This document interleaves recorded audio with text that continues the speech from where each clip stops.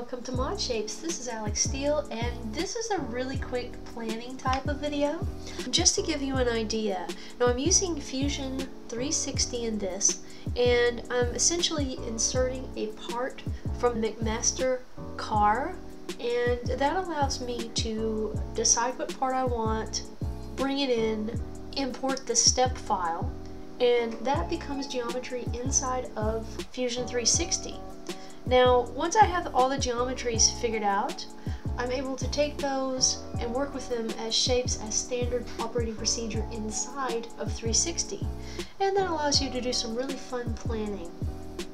Now this is a very expensive plan by the way.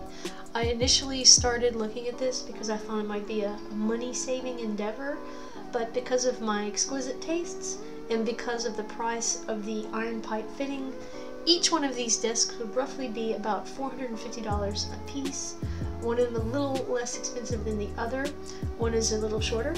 And essentially, it's it's a labor of love. You're not going to save any money doing this, but uh, I think the results could be absolutely beautiful. And Fusion 360 allowed me to experiment, test, and do a cost evaluation.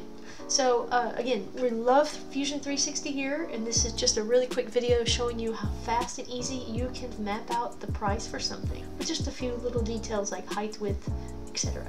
Thanks for watching!